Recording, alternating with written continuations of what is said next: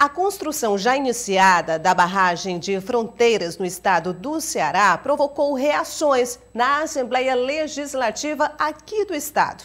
Deputados temem a redução do volume do Rio Poti. O barramento está sendo construído na cidade cearense de Crateús, pelo Departamento Nacional de Obras contra a Seca, o DENOX.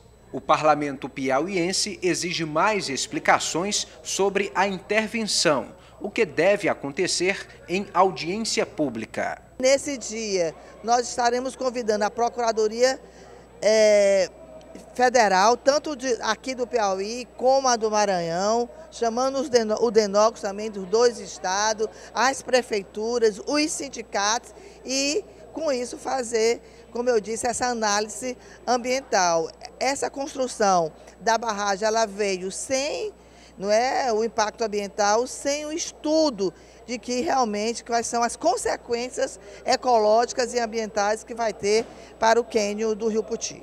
As demandas não param de chegar ao Poder Legislativo, que passa por um processo de reorganização das comissões técnicas. Três dos 30 deputados estaduais compõem a bancada de oposição na Assembleia Legislativa. Mesmo de forma reduzida, os oposicionistas garantem que vão disputar espaços em todas as comissões técnicas que estão em formação na casa. Agora, após o Carnaval, nós já estaremos estabelecendo esse diálogo com os demais líderes para que a gente possa montar a composição dessas, dessas é, é, é, comissões e a oposição ter uma participação também efetiva e conquistar a presidência de uma dessas comissões importantes para que a gente possa também desenvolver o nosso trabalho.